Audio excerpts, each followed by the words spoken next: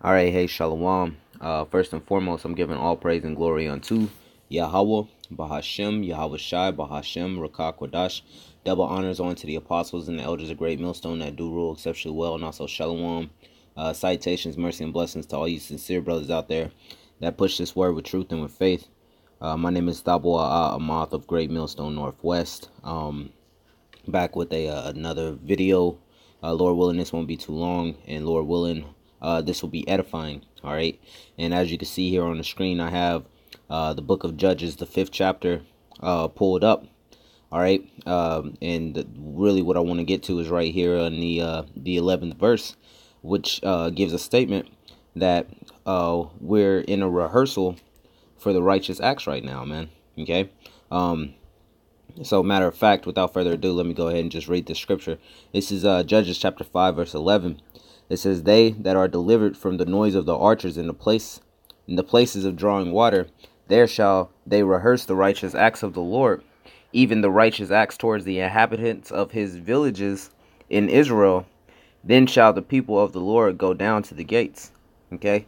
Now, a place of drawing water is uh, a place where you're serving a um uh you're serving uh, uh some type of uh captivity all right you're serving underneath someone if you're if if you're commanding someone else to go and um and draw water that means that you are um you're over that person man.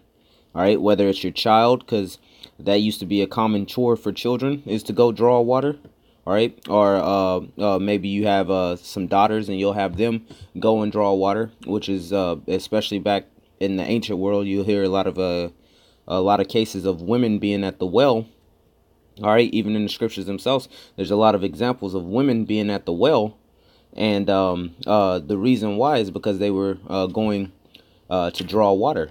Okay, they were going to draw water. In fact, um, uh, our forefather uh, uh, Isaac, for Isaac, for his wife, all right, for his wife Rebecca, she was found at the well. Okay, Abraham sent his servant, and his servant found her uh, uh, at the well. So that's just an example. All right. Uh, so the place of drawing water is a place where we're serving a captivity, and the main captivity that we're serving at, to this very day is the captivity underneath Esau, Edom, which is spearheaded by this country, America. All right. That's the place uh, where it's going to be the noise of the archers at, man. All right, that's where the noise of the archers is going to be because those missiles is going to rain down. It says, They that are delivered from the noise of the archers in the place of drawing water. All right, so the place of drawing water, there's going to be people that gets delivered from the noise of the archers, and that's going to be the elect of the nation of Israel. Okay, it says, uh, There shall they rehearse the righteous acts of the Lord, even the righteous acts towards the inhabitants of his villages in Israel. And that's what we're doing. We're rehearsing the righteous acts, man. And sometimes it seems as if some people um, lose sight of the fact that we are indeed in a rehearsal, man. We are in a rehearsal, and none of us is perfect. Granted, we are striving for the mastery, we are striving for perfection, but there is not a single one of us that is here upon the earth today that is uh, that is perfect, man. The only one that was perfect that walked this earth was Yahweh Shai. All right. So here it is. We're we're doing a we're doing our rehearsal. We're rehearsing the righteous acts of the Lord, man. All right. So you can't be you can't be so because you got to remember, and this is just this is just me speaking uh, generally, not not uh, because there's any type of event or uh, some type of um, of an action that brought this about. But we have to remember that the way you judge people is the way you're going to be judged, man. All right. If you're so uh, hardcore and, and stone cold uh, and judging everything without mercy, well, that's the way that you'll be judged. Okay. That's the way that the Heavenly Father will judge you. All right. Let's um let's look up in here. I pulled this up in the blue letter. All right. Judges chapter 5, verse 11. Um, to go to this word uh, rehearse. Okay. To go to this word rehearse, and it looks like it's the Strong's um the Strong's H8567, and the word is um, uh, Tana. Tana, okay? It says, um, it says, uh, let's see, the Strong's info, Tana, all right, uh, primitive root identical with through the idea of attributing honor to ascribe, uh, meaning praise, i.e., celebrate, uh, commemorate, lament, and rehearse. And that's what we're doing. We're doing all of those. Okay, us here, the the men that uh, uh, take up the mantle of actually being an Israelite, not uh, doing it for uh, just to be a part of a, a, group or doing it as a fad, but realistically identify uh, uh, and recognize that the spirit that dwells within them is a spirit of of an Israelite, the chosen people of the Heavenly Father. We're the ones that's that's doing all this. We're the one that's attributing honor to the Heavenly Father. We're the ones that's praising uh, our Lord Yahweh Shai for for giving us an opportunity to be able to be co-heirs with Him in the kingdom of heaven. All right, we're the ones celebrating that that the Most High didn't uh, uh, leave us in that funk of believing that we were just you know African Americans or so on and so forth, man. All right, we're lamenting for the fact that we've gone off. All right, and we're rehearsing the actual righteous acts, man. All right, we're we're we are rehearsing uh, the ways that's pleasing unto the heavenly Father. Now, in a rehearsal, you still have time to um uh, you still have time to, to to make a couple mistakes, man. All right, anytime the, the rehearsal is the time for you to work out all those mistakes, man. All right, because when it's when the curtain actually goes up and that crowd's there, that's not the time to be fumbling around. All right, you should have worked out all of that through um uh uh through rehearsal or through practice. Okay, um, looking here off of uh, uh Merriam-Webster.com, this is the word rehearse.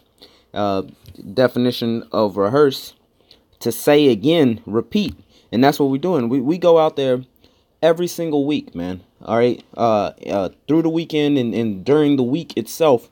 We also do videos like the one I'm doing right now and uh, we we say it over and over again, and we repeat ourselves over and over again. And what we're really repeating is the scriptures. Okay, it says to recite aloud in a formal manner. Um, it says uh, to present an account of. All right, uh, relate. Uh, to recount in order.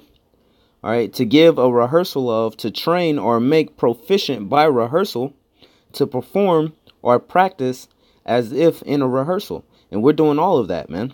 All right. And the things that we're performing, the things that we're practicing is righteousness. Things that's actually pleasing to the Heavenly Father. We we don't seek to go uh, out of our way to find uh, things that, that we know the Heavenly Father uh, isn't down with, man. All right. In fact, we we distance ourselves away from stuff like that. All right. That's why we cannot be uh, a part of this world. All right. Even though we're in this world, we are uh, uh, we are separated, man. And that's that's that's all, man. That's all the water y'all about Shem y'all shy because this world is getting uh uh more vile by the minute. Okay, it's getting more vile by the minute. Anyway, jumping back to um these scriptures, this is this is something uh, uh that we should be having in our head is that we're in the the the uh we're in the works of a rehearsal right now, man. All right, even even in the rehearsal, you know those actors they may have gotten picked and they may not quite be secure in their slot yet, man. All right, it's just like the preseason for football. All right, they may have picked up all these these new uh, athletes, but that doesn't mean that everybody that they picked up for the preseason is actually going to make it uh, uh, to be a uh, uh, you know to to be a, a cut on the team, man some people may still get disregarded. And that's that's what we have to have in our mind right now is that hey look just because the most high opened your uh, eyes for you to realize that you're an israelite that doesn't mean that you you made it or that you got it man. At the same time this is a rehearsal. So we're not supposed to have it where it's so uh, uh, stone cold uh, set in where if a brother makes a small little mistake that that's the the end all be all for him man. All right? We're supposed to have mercy and we're supposed to be able to uh, work uh, with each other. Okay, because our righteousness uh, truly is as filthy rags. That's written in uh, Isaiah the sixty fourth chapter. Let's go ahead and grab that. Isaiah chapter sixty four. Uh, what was that? Around verse uh, five. Um. Nope, Salak, verse 6. Isaiah chapter 64, verse 6, it says, But we are all as an unclean thing, and all our righteousness are as filthy rags and we all do fade as a leaf, and our uh, iniquities, like the wind, have taken us away. So all of us is guilty of of having righteousness as filthy rags, man. We're we're we're all defiled. Okay, We're all defiled. None of us is clean. We haven't been clean a single day uh, that we've been upon this earth. All right? You got to think about that, man. In this current captivity, this current lifetime that you're in right now, the body that you're in right now, you have not been clean a single day this entire time you've been on this earth, man. All right? Because you've either been around some type of unclean woman, you've you've eaten some type of unclean thing, you've touched some some unclean thing. All right? We don't live in a society that that allows for us to to be clean, man. All right? Back in the day, man, when the children of Israel wanted to talk to the Heavenly Father, they had to cleanse themselves. They had to purify themselves. The males, they had to stay away from their wives for three days, you know, so that way they can be clean, man. All right, we don't have that type of uh that type of luxury, man. Granted, you can stay away from your woman for three days, sure, but that doesn't mean that you know uh, the clothing that you're putting on is is clean or you touching the doorknob to to the building wasn't touched by somebody who was unclean, you know or so on and so forth, man. You got to pull out your damn uh your your wallet.